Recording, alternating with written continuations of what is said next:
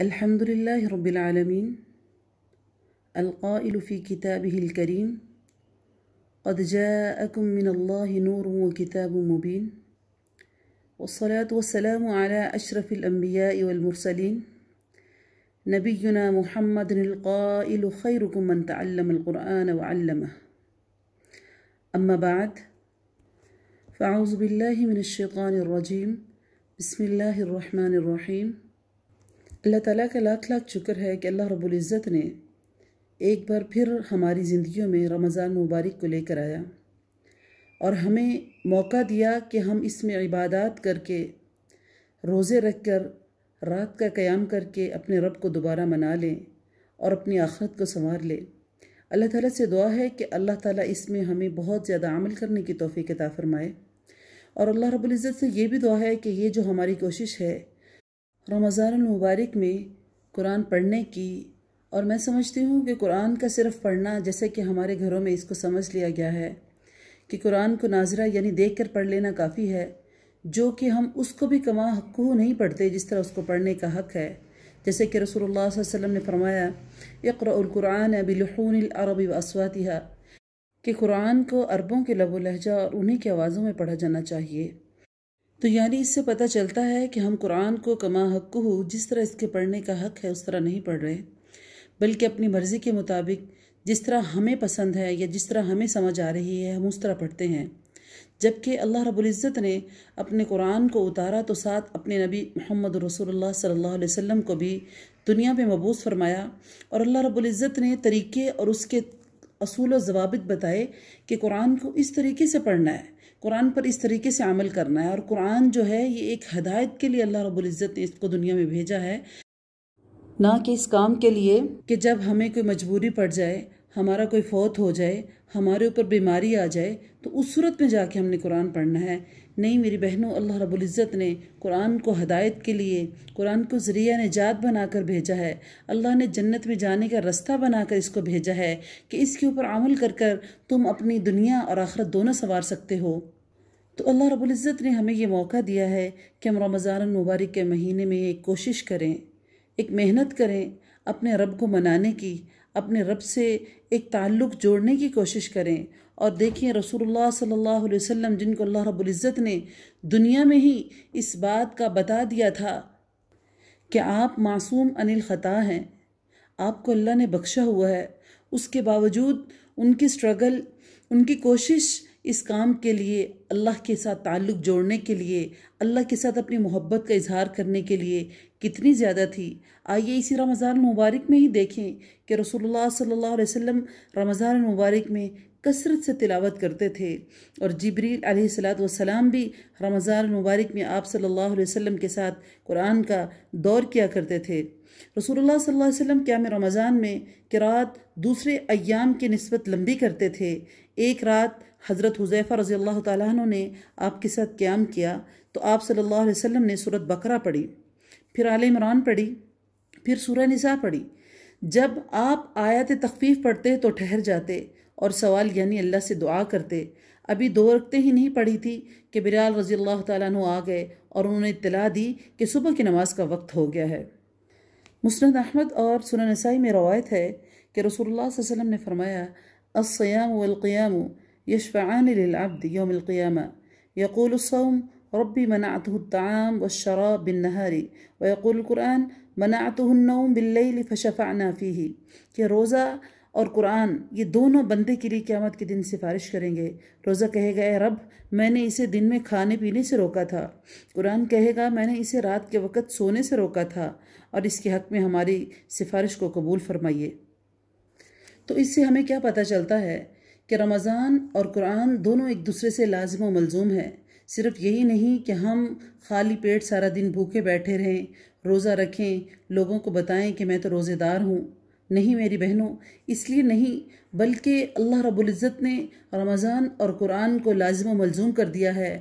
اگر ہم اپنا رمضان صحیح طریقے سے گزارنا چاہتے ہیں، تو اس کا پورا طریقہ ہمیں ڈیفینیٹلی قرآن سے ہی ملے گا۔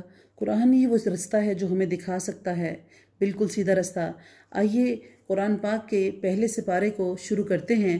اللہ تعالیٰ سے دعا ہے کہ اللہ تعالیٰ اس کو ہمارے لیے ذریعہ نجات بنائے۔ آئیے سب سے پہلے صورت فاتحہ کی تلاوت سنتے ہیں۔ اعوذ باللہ من الشیطان الرجیم۔ بسم اللہ الرحمن الرحیم۔ الحمد لله رب العالمين الرحمن الرحيم مالك يوم الدين إياك نعبد وإياك نستعين. اهدنا الصراط المستقيم صراط الذين أنعمت عليهم غير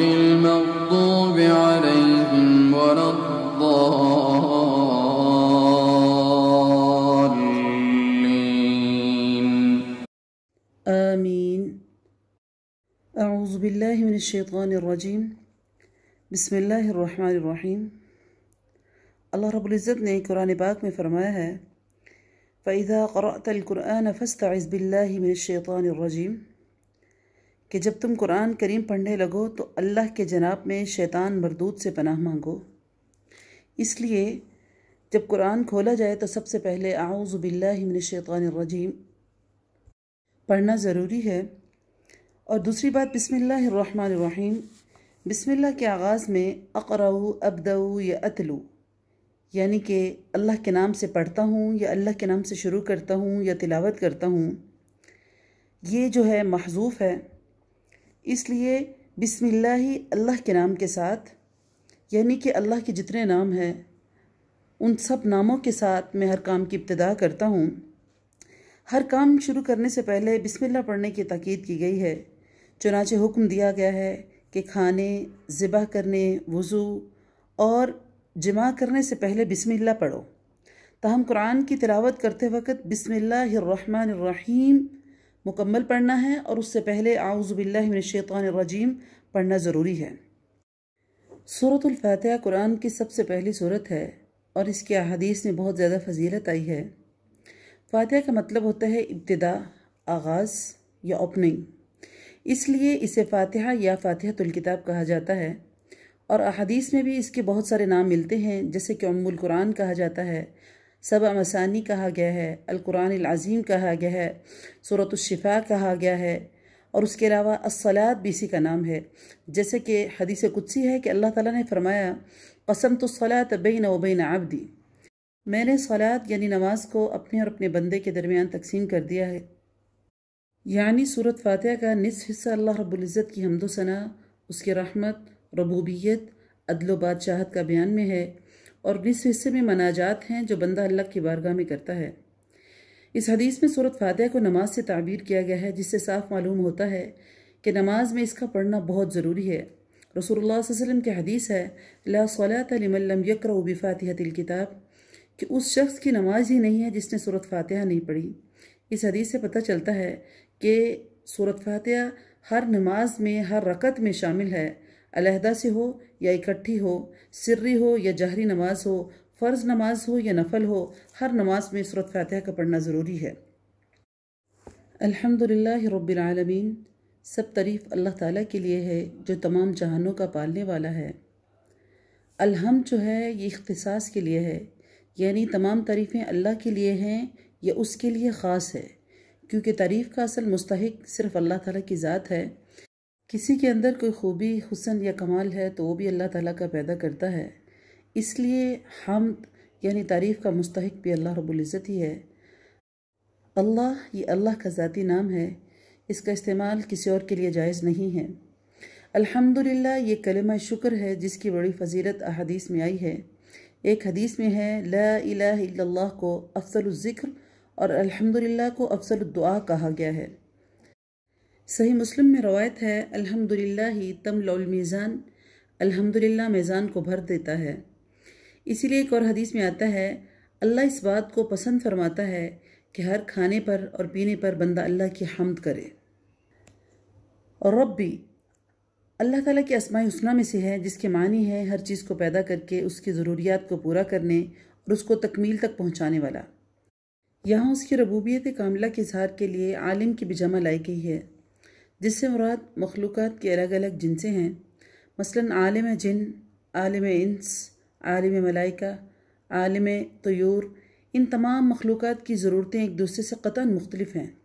لیکن رب العالمین سب کی ضروریات، ان کے احوال و ظروف، ان کے جسم اور ان کی ضرورت کے مطابق ان کو مہیا فرماتا ہے۔ الرحمن الرحیم، بڑا مہربان نہایت رحم کرنے والا ہے۔ یہاں پر اللہ رب العزت کو تین دفعہ اللہ کی جو رحم ہے، اس کا ذکر کیا گیا ہے۔ پہلا، بسم اللہ الرحمن الرحیم کے اندر اللہ کی رحم کی جو خصوصیت ہے، اس کو بیان کیا گیا ہے۔ پھر اس کے بعد، الحمدللہ میں اللہ کے رحم کی خصوصیت کو بیان کیا گیا ہے۔ پھر، الرحمن الرحیم، ان دونوں میں اللہ کی رحم کی خصوصیت کو بیان کیا گیا ہے۔ کہ اللہ نہایت مہربان، رحم کرنے والا ہے۔ یہ دونوں مبالغے کے سیگے ہیں جس کے مطلب ہے کثرت اور دوسری چیز دوام ہے یعنی ہمیش کی ہے۔ یعنی اللہ بہت رحم کرنے والا ہے اور ہمیشہ رحم کرنے والا ہے۔ تو یہ اللہ رب العزت کی خصوصیات میں سے اللہ کی خصوصیت ہے۔ رحمان میں رحیم کی نسبت زیادہ مبالغہ ہے۔ اس لیے رحمان الدنیا والآخرہ کہا جاتا ہے۔ دنیا میں اس کی رحمت عام ہے جو بغیر کسی فرق کے کافر اور مومن سب کو مل رہی ہے۔ اور آخرت میں وہ صرف رحیم ہوگا یعنی اس کی رحمت صرف مومنین کے لیے خاص ہوگی۔ مالکی یوم الدین، بدلے کے دن کا مالک ہے۔ دنیا میں بھی اگرچہ انسان کے مقافات عمل کا سلسلہ ایک حد تک جاری رہتا ہے، تاہم اس کا مکمل ظہور آخرت میں ہوگا۔ اللہ تعالیٰ ہر شخص کو اس کے اچھے اور برے اعمال کے مطابق سزا اور جزا دیں گے۔ اسی طرح دنیا میں عارضی طور پر اور بھی کئی لوگوں کے پاس تحت الاسباب اختیارات ہوتے ہیں۔ لیکن آخرت میں تمام اختیارات کا مالک صرف اور صرف اللہ تعالیٰ کی ذات ہے۔ اللہ تعالیٰ اس روز فرمائے گا، لمن الملک اليوم؟ آج کس کی بادشاہی ہے؟ پھر وہی جواب دے گا، للہ الواحد القہار، صرف ایک غالب اللہ کے لیے ساری بادشاہی ہے۔ یوم لا تملک نفس لنفس شیئا والامر یوم للہ۔ اس دن کوئی ہستی کسی کے لیے اختیار نہیں رکھے گی۔ سارا کا سارا معاملہ اللہ رب العزت کے ہاتھ میں ہوگا اور یہ جزا کا دن ہوگا۔ ایاک نعبد و ایاک نستعین، ہم صرف تیری ہی عبادت کرتے ہیں اور تجھ سے ہی مدد چاہتے ہیں۔ عبادت کے معنی ہیں کسی کی رضا کے لیے انتہائی آجی خوشو کا اظہار۔ امام نے کثیر کہتے ہیں کہ کمال کی محبت خوشو خضو اور خوف کے مجموعے کا نام عبادت ہے یعنی جس ذات کے ساتھ محبت ہو اس کے سامنے جھک جانا، اس کے خوف کا ڈر ہونا۔ اصل میں نعبدو کا و نستعین کا تیری عبادت کرتے ہیں اور تجھ سے مدد چاہتے ہیں۔ لیکن اللہ تعالیٰ نے یہاں مفعول کو فعل پر مقدم کر کے ایہ کا نعبدو و ایہ کا نستعین فرمایا ہے، جس کا مطلب کیا تھا اور مقصد کیا تھا اختصاص پیدا کرنا۔ یعنی ہم تیری ہی عبادت کرتے ہیں اور صرف تجھ ہی سے مدد چاہتے ہیں۔ نہ عبادت اللہ کے سوا کسی اور کے لیے جائز ہے، نہ کسی سے مدد مانگنا اللہ کے علاوہ کسی اور کے لیے جائز ہے۔ اس سے شرک کو بھی روک دیا گیا ہے۔ یہاں کچھ لوگ لوگوں کو مغالطے میں ڈال کر کچھ چیزوں کا اشکال پیدا کرتے ہیں اور کہتے ہیں کہ دیکھو ہم بیمار ہوتے ہیں تو ڈاکٹر سے مدد حاصل کرتے ہیں۔ بیوی سے مدد چاہتے ہیں، ڈرائیور اور دیگر انسانوں سے مدد کے طلب گار ہوتے ہیں۔ اسی طرح وہ یہ باور کراتے ہیں کہ اللہ کے سوا اوروں سے بھی مانگنا جائز ہے۔ حالانکہ جو اللہ کے علاوہ کسی چیز سے مانگنا، مدد چاہنا یہ شرک ہے، یہ اللہ تعالیٰ کا بنایا ہوا نظام ہے، جس میں سارے کام ظاہری اسباب کے مطابق ہی ہوتے ہیں، حتیٰ کہ انبیاء بھی اللہ کی مدد حاصل کرتے ہیں۔ حضرت عیسیٰ علیہ السلاۃ والسلام نے فرمایا، من انصاری اللہ اللہ کے دین کے لیے کون میرا مددگار ہے؟ تو اللہ تعالیٰ نے اہل ایمان کو فرمایا و تعاونو البر و تقوا نیکی اور تقوا کے کاموں میں ایک دوسرے کی مدد کرو۔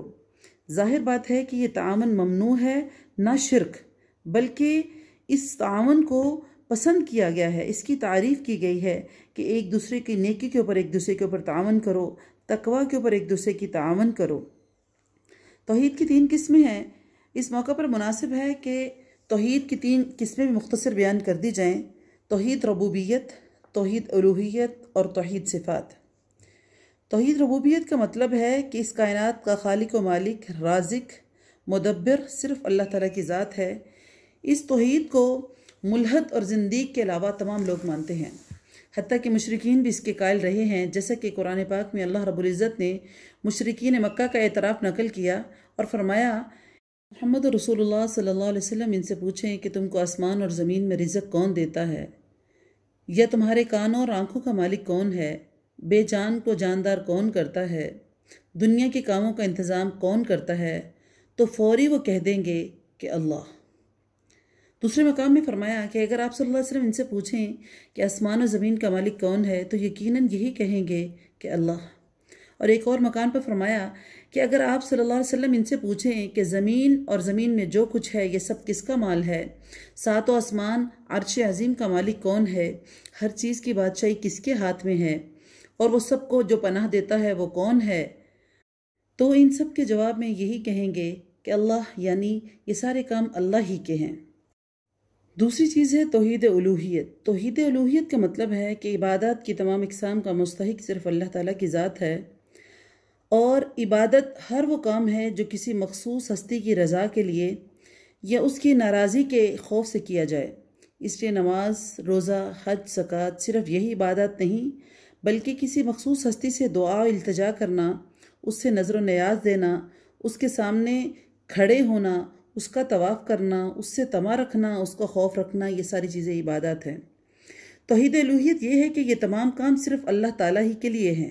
قبر پرستی کے مرض میں مبتلا عوام اس توحید الوحیت میں شرک کا ارتکاب کرتے ہیں اور مذکورہ عبادات کی بہت سی قسمیں وہ قبروں میں مدفون افراد اور فوت شدہ بزرگوں کے لیے بھی کرتے ہیں۔ جو کہ سراسر شرک ہے۔ تیسری چیز ہے توحید صفات۔ توحید صفات کا مطلب ہے اللہ تعالیٰ کی جو صفات قرآن و حدیث میں بیان ہوئی ہیں، ان کو بغیر کسی تعویل اور تحریف کے تسلیم کرنا اور وہ صفات اس انداز میں کسی اور کے اندر نہ ماننا۔ مثلا جس طرح اس کی صفت علم الغیب ہے، یہ دور اور نزدیک سے ہر ایک کی فریاد سننے پر قادر ہے۔ کائنات میں ہر طرح کا تصرف اس کے اختیار میں ہے۔ یا اس قسم کی اور صفات الہیہ، ان میں کوئی صرف بھی اللہ کے سوا کسی نبی، ولی یا کسی شخص کے اندر تسلیم نہ کی جائیں۔ اگر تسلیم کی جائیں گی تو یہ شرک ہوگا۔ افسوس ہے کہ قبر پرستوں میں شرک کی یہ قسم بھی عام ہے۔ انہوں نے اللہ کی مذکورہ صفات میں بہت سے بندوں کو شریک کر رکھا ہے۔ اللہ تعالی ہم سب کو ہدایت کی توفیق دے۔ اللہ تعالی ہم کو اتنے بڑے شرک سے بچائے۔ اہدن الصراط المستقیم۔ ہمیں سیدھی اور سچی راہ دکھا۔ ہدایت کے کئی معنی ہیں۔ راستے کی طرف رہنمائی کرنا، راستے پر چلا دینا، منزل مقصود تک پہنچا دینا۔ عربی زبان میں توفیق، الہام پر یہ دلالت کرتا ہے یعنی ہمارے صراط مستقیم کی طرف دلالت کرنا، رہنمائی کرنا یا اس کی توفیق دینا اور اس پر استقامت اللہ نصیب فرما دے تاکہ ہمیں میری رضا حاصل ہو جائے۔ یہ صراط مستقیم محض عقل اور ذہانت سے حاصل نہیں ہو سکتی۔ یہ صراط مستقیم وہی اسلام ہے جسے نبی اکرم صلی اللہ علیہ وسلم نے دنیا کے سامنے پیش فرمایا، جو اب قرآن اور حدیث صحیحہ میں موجود ہیں۔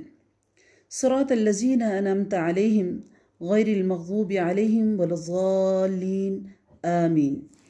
ان لوگوں کی راہ جن پر تو نے انعام کیا، ان کی نہیں جن پر غضب کیا گیا اور نہ ہی گمراہوں کی راہ۔ یہ سرات مستقیم سیدھا رستہ ہے جس پر وہ لوگ چلیں یعنی کہ تیرا انعام ہوا۔ انعام کون سے لوگ ہیں؟ انبیاء ہیں، شہداء ہیں، صدیقین ہیں، صالحین ہیں۔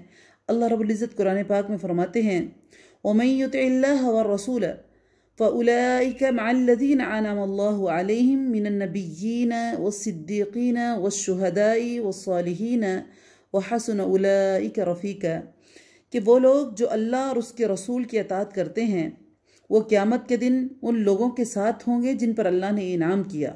اور وہ کون لوگ ہیں؟ انبیاء ہیں، صدیقین ہیں، شہداء ہیں اور نیک لوگ ہیں۔ اور ان لوگوں کی رفاقت جو ہے وہ بہت ہی اچھی ہے۔ اس آیت میں یہ بھی وضاحت کر دی گئی ہے کہ انعام یافتہ لوگوں کا یہ راستہ اطاعت الہی اور اطاعت رسول کا ہی راستہ ہے۔ اس کے علاوہ کوئی اور راستہ نہیں ہے۔ بعض روایت سے ثابت ہوتا ہے کہ مغضوب علیہم، جن پر اللہ کا غضب ہوا سے مراد یہود اور غالین سے مراد نصارہ ہیں۔ مفسرین کے اس کے بارے میں بالکل کوئی اختلاف نہیں ہے۔ یعنی مغضوب علیہم سے مراد یہود ہیں اور غالین سے مراد نصارہ ہیں۔ تو وہ لوگ جو سرات مستقین پر چلنے کی خواہش رکھتے ہیں، ان کے لیے ضروری ہے کہ وہ یہود اور نصارہ دونوں کی گمراہیوں سے بچ کر رہیں۔ یہود کی بڑی گمراہی یہ تھی کہ وہ جانتے، بوجھتے، صحیح راستے پر نہیں چلتے تھے۔ اللہ تعالیٰ کی آیات میں تعریف کرتے تھے، ہیلا کرنے سے باز نہیں آتے تھے۔ حضرت عزیر علیہ السلاۃ والسلام کو ابن اللہ یعنی اللہ کا بیٹا کہتے تھے اور اپنے احبار اور رحبان کو حرام اور حلال کا مجاز سمجھتے تھے۔ نصارہ کی بڑی غلطی یہ تھی کہ انہوں نے حضرت عیسیٰ علیہ السلاۃ والسلام کی شان میں غلو کیا تھا۔ انہیں ابن اللہ اللہ کا بیٹا کہتے تھے۔ ثالث ثلاثہ یعنی تین خداؤں میں ایک قرار دیتے تھے۔ افسوس ہے کہ امت محمدیہ صلی اللہ علیہ وسلم میں بھی یہ گمراہیاں عام ہیں۔ اسی وجہ سے شاید آج ہم ذلیل اور رسوا ہیں۔ اللہ تعالی ہم کو اس ضلالت کے گڑھے سے نکالے تاکہ ہم اتنی بڑی گمراہی سے محفوظ رہ سکیں۔ صورت فاتحہ کے آخر میں آمین کہنے کی نبی کرم صلی اللہ علیہ وسلم نے بڑی تاکید اور فضیلت فرمائی ہے۔ اس لیے نماز کے دوران بھی آمین کہا جاتا ہے۔ اس کے علاوہ بھی سننے والوں کے لیے لازم ہے کہ وہ صورت فاتحہ کے آخر میں آمین کہیں۔ صحابہ کرام رضوان اللہ علیہ مجمعین اس پر ہمیشہ سے کاربند رہے اور ان کا یہ معمول رہا۔ آمین کے مختلف معنی ہیں کذالی کا فلیکن یعنی اسی طرح ہو۔ لا تخیب رجاءنا یعنی ہمیں نامراد نہ کرنا۔ یا دوسری صورت ہے اللہ مستجب لنا، اے اللہ ہماری دعاؤں کو قبول فرما لینا۔ یہ مختلف اس کے معنی ہیں آمین کے۔ اس لیے صورت فاتحہ کے آخر میں آمین کہنا مستحب بھی ہے۔ اور اس کی بہت ساری فضیلت ہے جو رسول اللہ صلی اللہ علیہ وسلم نے بیان فرمائی ہے۔ یہاں پر صورت فاتحہ کا تفسیر اور ترجمہ مکمل ہوتا ہے، چونکہ صورت فاتحہ ام القرآن ہے، یہ قرآن کے برابر اس کی ویلیو ہے۔ اللہ رب العزت نے باقاعدہ طور پر رسول اللہ صلی اللہ علیہ وسلم کو کہا کہ وَلَكَتْ آتَيْنَاكَ سَبْعًا مِّنَ الْمَسَانِ وَالْقُرْآنِ الْكَرِيمِ، کہ میں نے آپ کو سبع مسانی یعنی صورت فاتح عطا کی۔ ایک قرآن کے برابر اس کی ویلیو دیا گیا ہے۔ اس لیے ذرا اس کی تھوڑی سی وضاحت لازمی تھی تاکہ لوگوں کو پتہ چلے کہ صورت فاتحہ کی فضیلت کیا ہے، اس کے معاملات کیا ہیں، اس کے معنی کیا ہے۔ اللہ تعالیٰ سے دعا ہے کہ اللہ تعالیٰ کما حقو قرآن کی تفسیر بیان کرنے کی توفیق عطا فرمائے۔ قول قول هذا استغفر الله لي ولكم ولسائر المسلمين وما علي إلا البلاغ المبين السلام عليكم ورحمة الله وبركاته